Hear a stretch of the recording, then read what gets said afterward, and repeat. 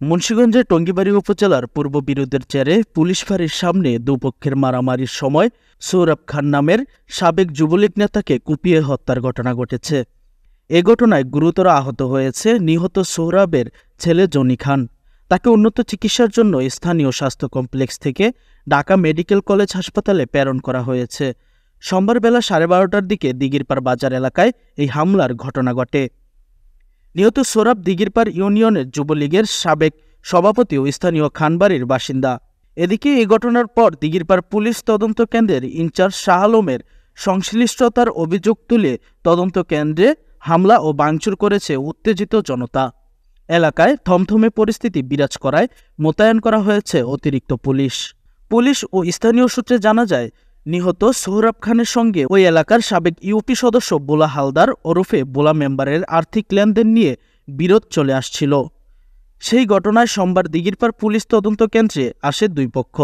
এ সময় বিরোধে জড়িয়ে পড়লে বোলা হালদার ও তার দুই ছেলে রিজবি ও রিহান সহ সাত আটজন সৌরভ খান ও জনিকে এলোপাতারি কুপিয়ে জখম করে। পরে তাদের উদ্ধার করে টঙ্গিবাড়ি স্বাস্থ্য কমপ্লেক্সে নিয়ে গেলে জরুরি বিভাগের দায়িত্বরত চিকিৎসক সোহরাব খানকে মৃত ঘোষণা করেন ও জনির অবস্থা আশঙ্কাজনক হওয়ায় তাকে উন্নত চিকিৎসার জন্য ঢাকা মেডিকেল কলেজ হাসপাতালে প্রেরণ করা হয়। নিহতের ছোট ভাই মিজান খান বলেন আমার বাইরে টাকা দিয়ে ফালাই দিছে এই কোপ দিতে এই বরাবর ফুটুকাই দিছে এই কোপই মারা গেছে।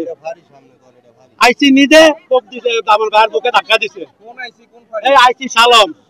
দিঘির বা তদন্ত কেন্দ্রের আইসি সালম। এই ফাঁড়ি চলে মানে হয়- হয়- হয় নিজে ধাক্কা দিয়ে ব্যাংকেতে টাকা উঠাইছে। বিষয়টা এর আগে একটা ওরা আর শ্বশুর আর হয়েছে না আমার তো দোষ নেই।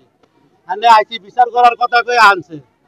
ওই আমার বাইরে বাতি যারা আনছে, আনার পর ওরা বাপে পুতে তিনজন আসলে কইছে, তাই জান আইসে, আইসি লগে আইসে সামনে কোবাইছে আইসি নিজে আমার বাইরে ধাক্কা দিয়ে হালাই, যারা ধরছে মায়ের, কিন্তু আইসি নিজে ধাক্কা দিয়ে বলবার হালাই দিছে। আইসি এনে কোনো অ্যারেস্ট করতে কয় নাই, ফুস আসলো, যা আসলো সব আসলো এনে ফুস নিশ্চ আসলো কিন্তু আইসি কোনো কাউরে অ্যাকশন নিতে দেয় নাই কিলিগা অফিসার ইনচার্জ হ্যার হ্যার ওয়ার্ডার ছাড়া একটা পুলিশ পাদও দিব না। ওরা ধরবো না।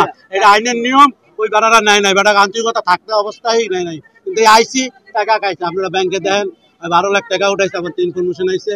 আপনারা ওর অ্যাকাউন্ট চেক করে দেখেন এর প্ল্যান করে মার্ডার হয়েছে ব্যাপার না। এ বিষয়ে টঙ্গিবাড়ির স্বাস্থ্য কমপ্লেক্সের আবাসিক medical officer doctor Nuria Alam Siddique জানান নিহত সোরাব খান মাথায় ও বুকে গুরুতর ধারালো অস্ত্রের আঘাতের চিহ্ন রয়েছে। এছাড়া আহত জনি খানের মাথায় ও বুকে পেটে ধারালো অস্ত্র দিয়ে আঘাত করা হয়েছে। এ ঘটনায় এলাকায় অতিরিক্ত পুলিশ মোতায়েন করা হয়েছে বলে জানিয়েছে police super Aslam Khan. Rahid Hossain, news seven Chandra TV.